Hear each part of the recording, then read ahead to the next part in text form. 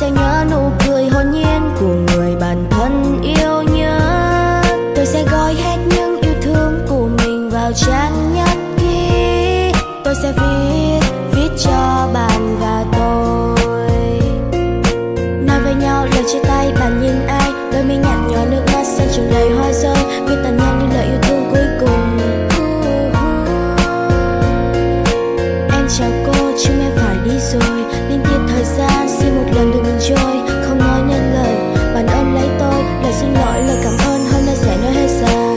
chỉ còn được một lần cuối cùng, để được nói hết ra cảm xúc ngập tràn.